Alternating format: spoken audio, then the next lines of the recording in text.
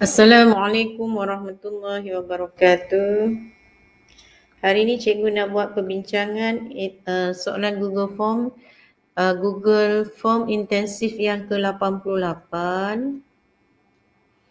Uh, sebelum kita mulakan majlis ni, cikgu kita baca dulu bacaan umul kitab. Kita hadiahkan pada junjungan besar Nabi Muhammad sallallahu alaihi wasallam pada sahabat baginda, ahli keluarganya, pada diri kita sendiri, ibu bapa, guru-guru dan semua umat Islam sama ada yang masih hidup ataupun yang telah meninggal dunia. Al-Fatihah. A'udzubillahi minasyaitonirrajim. Bismillahirrahmanirrahim. Alhamdulillahi rabbil alamin arrahmanirrahim. مالك يوم الدين إياك نعبد وإياك نستعين اهدنا الصراط المستقيم صراط الذين أنعمت عليهم غير المغضوب عليهم ولا الضالين. آمين. Okay, bismillahirrahmanirrahim. Alhamdulillahirabbil alamin wassalatu wassalamu anbiya wal mursalin wa ala alihi washabbi ajmain. Allahumma aftah alaina hikmataka wa ansur alaina min khazain rahmatika ya arhamar rahimin. Allahumma fakihna fid din wa alimna at-ta'wil wa ufawwidu amri ila Allah inna Allah basirun bil ibadah. وصلى الله على سيدنا محمد وعلى آله وصحبه وسلم والحمد لله رب العالمين Okay, kita tengok soalan yang pertama, eh, Google Form yang ke-66. Okay, soalan pertama, Rajah tujuh menunjukkan sebahagian struktur respirasi serangga. Eh. Ini adalah bab tingkatan empat. Eh. Respirasi serangga adalah bab tingkatan empat. Okey, dia ada pada muka surat 129. Eh, pada muka surat 129.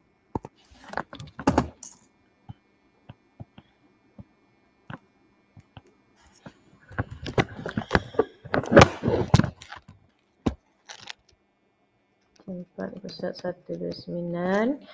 Okey, kita labelkan paling luas kali ni adalah spiral care. Eh, tempat macam hidung eh. Tempat uh, keluar masuk gas lah eh.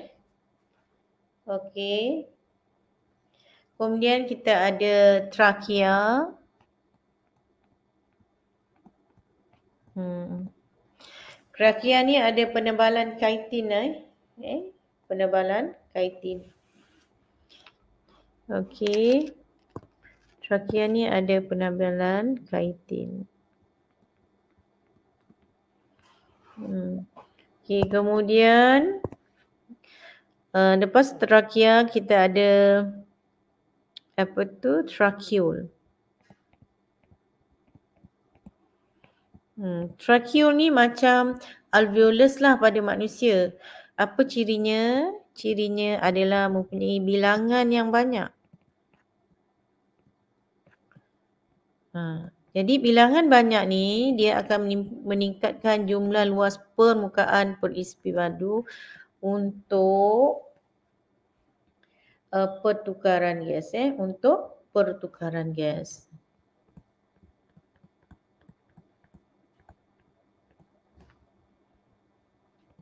Okey, kemudian apa lagi cirinya? Mestilah cirinya dinding tracheole tu macam kita dinding alveolus kan dia dinding tracheal dia lembab. Ha, kita pun ada lembab juga. Okey, kalau lembab tu ialah supaya membolehkan gas oksigen meresap ke dalam. Manakala karbon dioksida meresap keluar. Eh, lembab. Lembab tu dia perkataan yang paling sesuai dia melarutkan gas. Eh. Okey, lembab dia punya tu adalah larut. Ni L ni untuk larut. Jadi oksigen ya. Oksigen dan karbon dioksida tu berlarut dalam lembapan.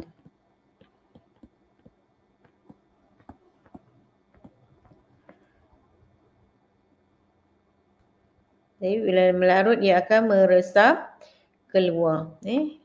Jadi dia membolehkan oksigen dan karbon oksida meresap. Kalau oksigen meresap masuk, karbon oksida pula meresap keluar. Okey, lagi satu lagi ciri dia. Ha, alveolus apa dinding dia? Dinding dia ni nipis. Nipis untuk apa? Memudahkan peresapan gas eh. Bembeng yang nipis adalah untuk memudahkan peresapan gas. memulihkan memudahkan gas meresap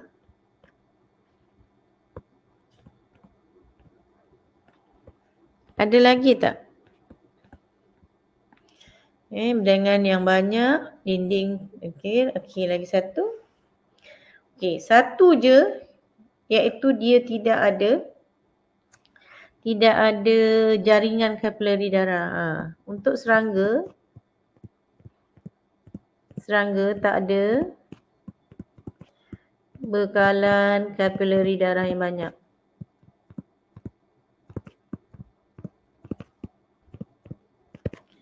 Sebab apa? Sebab darah eh darah serangga tidak terlibat dalam pengangkutan gas.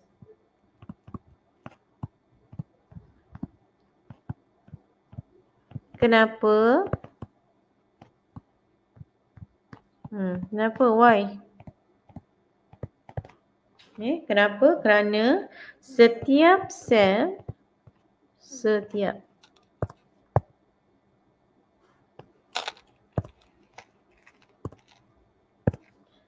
setiap sel telah dibekalkan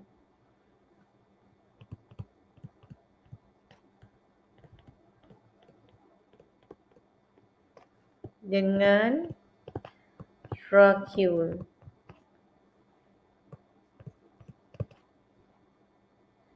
Kalau kita tengok kat sini nampak ha, semua sel. Okey, jadi Manakah terbaik untuk student bagi pertukaran gas yang cekap? Dia nak pertukaran gas. Kalau lembab lah resapan gas eh.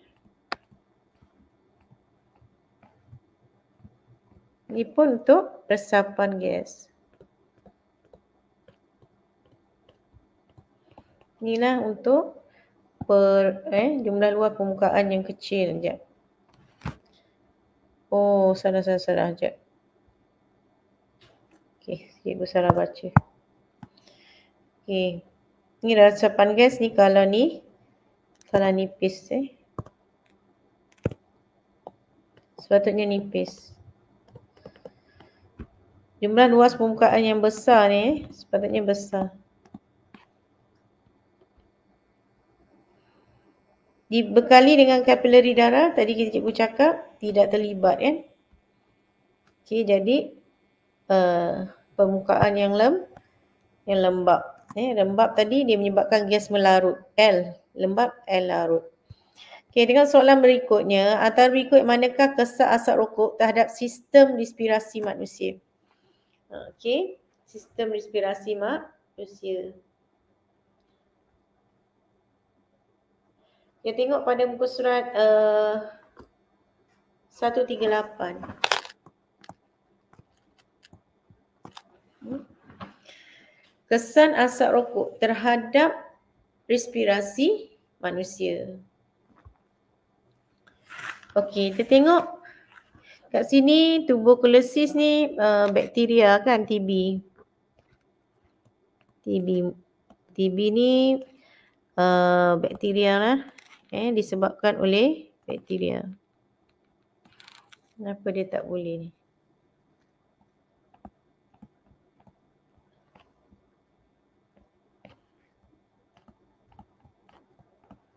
Batuk kokol pun sama disebabkan oleh bakteria.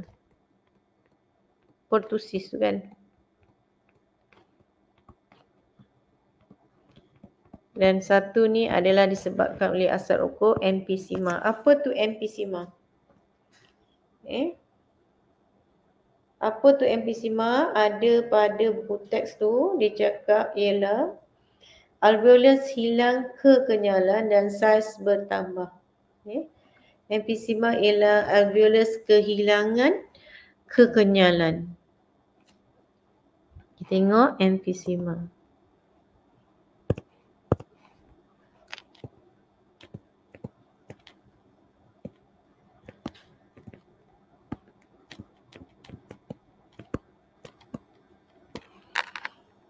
Hmm, emphysema. Hmm. Eh? Ni apa? Alveolus. Alveolus alveolus. Uh, not elastic eh. Elastic. Loss. Kehilangan kekenyalan dan saiz dia bertambah. Uh, saiz bertambah. Jadi kita boleh tahu enlarge.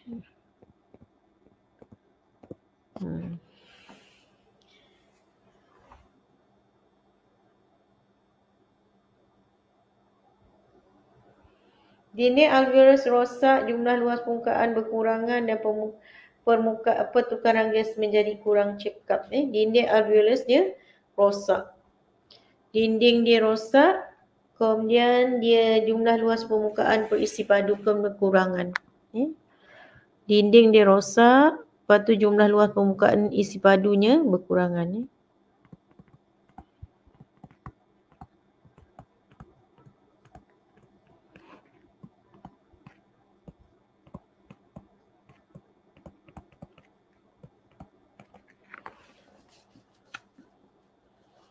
Jadi pertukaran gas menjadi kurang cekap.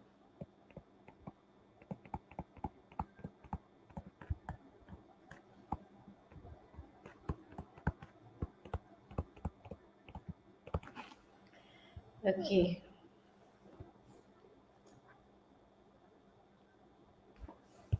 Okey, kemudian kita tengok pula soalan yang ketiga. Struktur yang terlibat dalam proses asimilasi. Asimilasi ialah di mana molekul kecil uh, digunakan lah. Eh, digunakan. Yang telah ter, uh, digunakan uh, apa tu yang telah di mula-mula gini yang molekul besar besar kepada molekul kecil ni pencernaan. Hmm, kemudian dimetabolismakan lah ni, digunakan kan. Uh, jadi sini prosesnya asimilasi lah.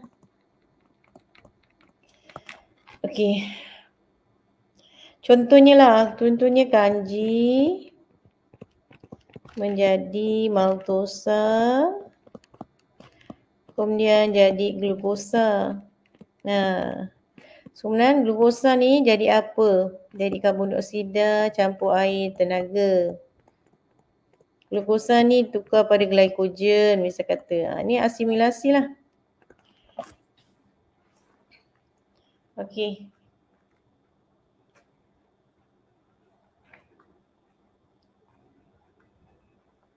Okay, ini kita boleh tengok pada muka surat 154 eh. Buku teks. Okay. Hati, usus kecil serap air. Usus besar pun serap air. Air masuk. Pergi dekat sel darah. Eh. Dia tanya apa? Antara berikut mana yang diangkut oleh salur darah P. Ini namanya vena portal hepa. Ya ke? Hmm. Sebab dia ke hati kan.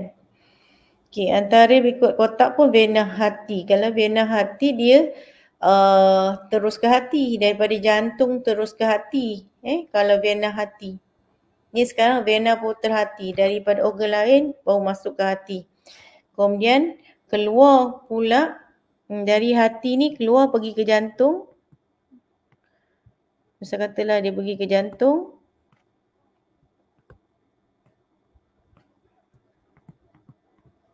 Okay, pergi ke jantung. Maknanya sini uh, vena cava. Eh?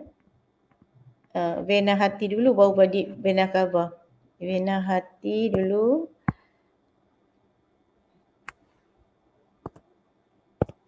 Hmm, vena hati. Kemudian baru vena cava. Hmm. Okey. Antara berikut manakah yang diangkut oleh uh, salur darapi dari usus kecil? Okey. Dari usus kecil eh. Dia tanya bahan. Hmm.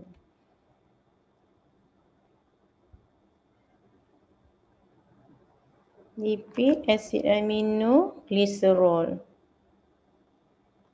Okey, kita tengok dulu apakah pencernaan yang berlaku di usus kecil. Kita tengok. Sebab soalannya ni dari usus kecil. Kita tengok pencernaan yang berlaku di usus kecil.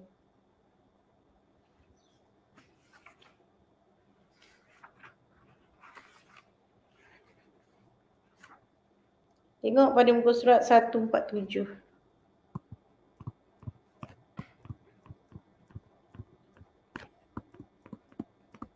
Ni pada 47, 147.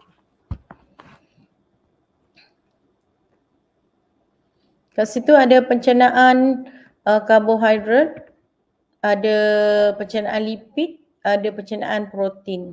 Ni kita ada pencernaan iaitu ada enzim maltase. Jadi maltosa kepada glukosa mesti ada air. Ni uh, hidrolisis mesti ada air.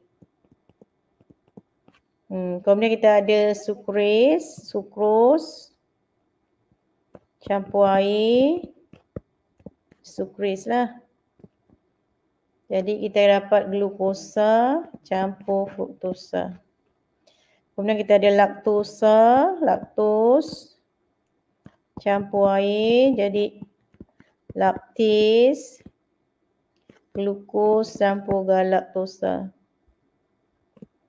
Okay. Kemudian kita ada lipis. Jadi lipid campur air. Lipid, lipis, lipis. Jadi asid, lemak dan gliserol. Kemudian kita ada enzim erepsin iaitu peptida campur air jadinya erepsin dapatlah asid amino. Okey kat sini produk dia asid amino ada.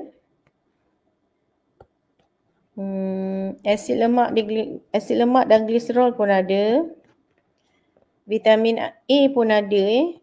Tapi dia tanya manakah yang diangkut oleh salur darah P. Okay, semua ni ada dekat usus kecil tapi yang diangkut oleh salur darah. Eh, kat usus kecil kita ada vilus. Kita ada vilus. Betul? Kemudian kita ada sel epithelium, dilus, Okey, kemudian kita ada lactil. Ha, lactil. Hmm, lactil. Lactil ni dia akan angkut produk yang larut lipid. Lipid soluble. Jadi sasa gliserol, lipid, lipid ni taklah kan uh, lipid dia uh, tu sebelum masuk uh, lipid kalau lipid macam ni ceritanya lipid dengan gliserol dia akan masuk dekat sel epithelium. Dekat dalam sel epithelium ni dia akan terus jadi lipid. Kemudian lipid dalam bentuk lipid dia akan terus masuk dekat dekat laktil. Ha, kemudian kat mana pula uh, salur darah? Salur darah ni dekat macam ni. Lah. Dia macam bentuk bentuk tangga itu. Uh, capillary darah ni. Jadi kapilari darah ni akan bersambung dengan vena portal hepa tadi. Jadi dia bawa apa? Asid amino dan juga eh, asid amino dan bahan-bahan ni lah. Glukosa lah, galaktosa semua eh. Okay, settle. Antara berikut yang manakah merupakan langkah terbaik untuk mengatasi masalah kegendutan? Hmm. Okey, apa dia?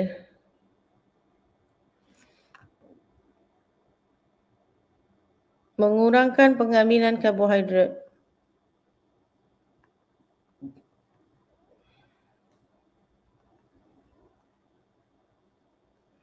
Ya, apa yang kita nak kalau tak nak ada kegendutan?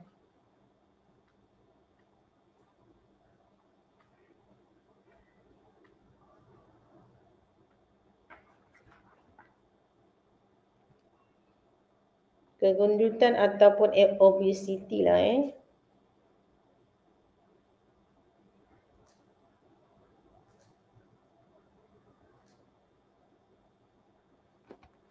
Okey. Pertama ialah mengurangkan pengambilan karbohidrat. Yang pertama. Kedua ataupun lemak. Kedua adalah peningkatkan pengambilan sayur-sayuran, tingkatkan serat, betul. Serat ni sama ada buah-buahan atau sayuran.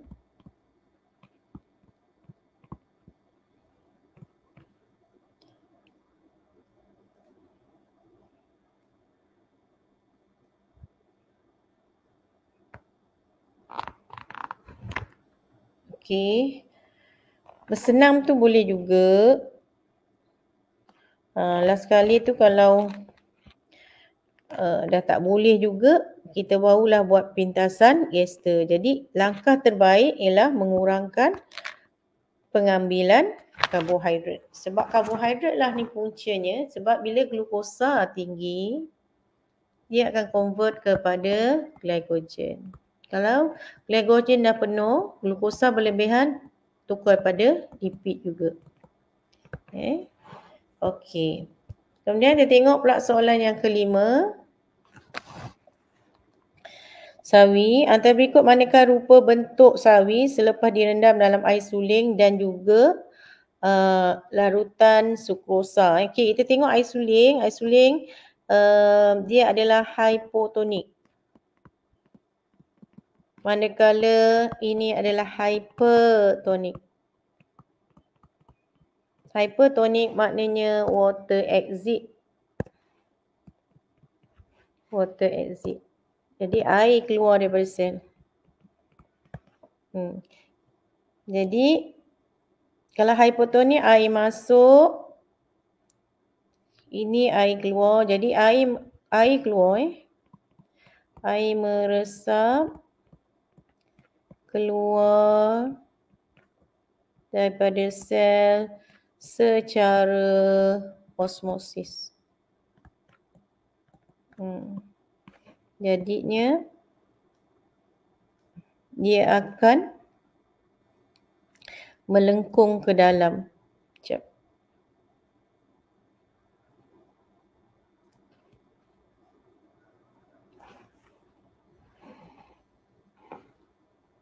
Kejap cikgu ni silap. Mana dia? Aida ya ada. Sekejap, kat mana cikgu punya tadi? Ha, ni dia. Okey. Um,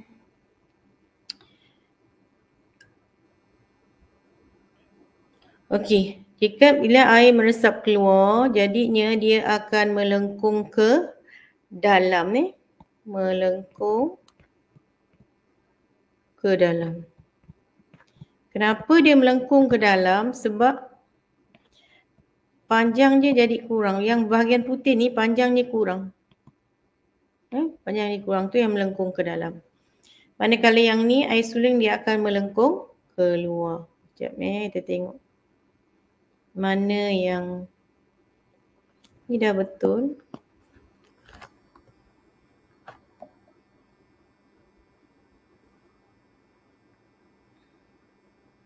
Okay, ni melengkung dalam. Ni melengkung dalam, ni melengkung ke dalam juga. Ni melengkung dalam, ni melengkung keluar. Tengok gambar ni. Eh, ni melengkung keluar. Hmm. Eh, ni melengkung keluar. So, jawapan kita E. Okay.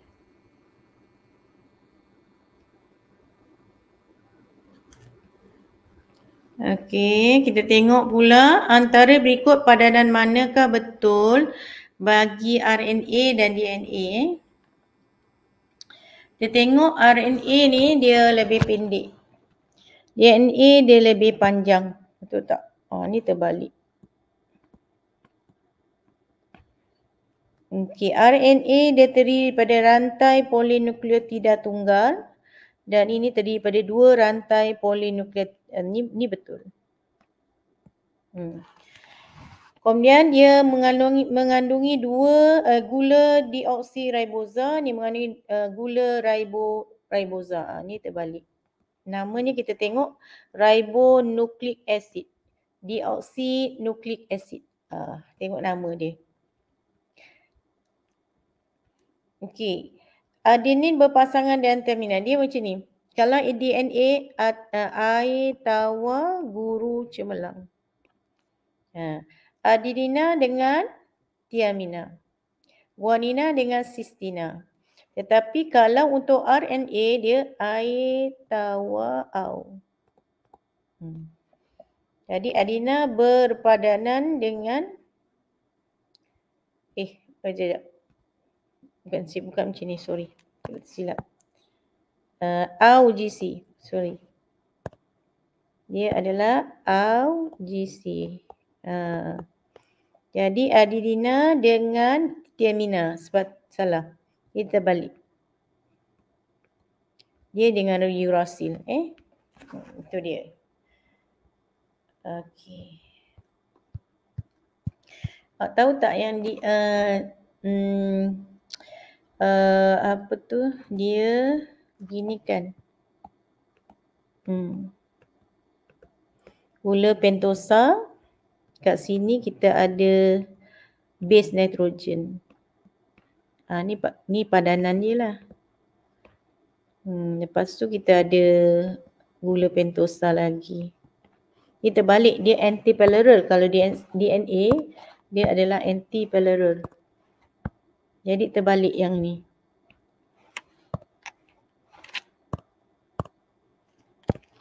Ni gini. Uh, ni kemudian dia ada sambung fosfat. Hmm. Ni. Ni kumpulan fosfat, ni gula pentosa, ni kumpulan fosfat, gula pentosa, base nitrogen eh. Okey.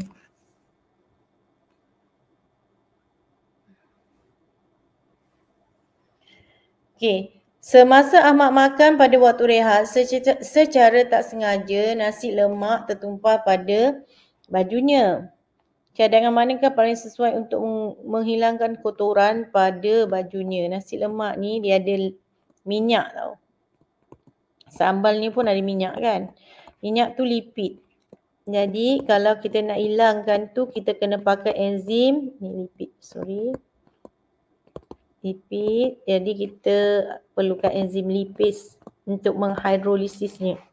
Eh, lipid campur air jadinya li, uh, enzimnya lipase, um, asid, lemak dan gliserol. Okey. Jadi enzim protease tak nak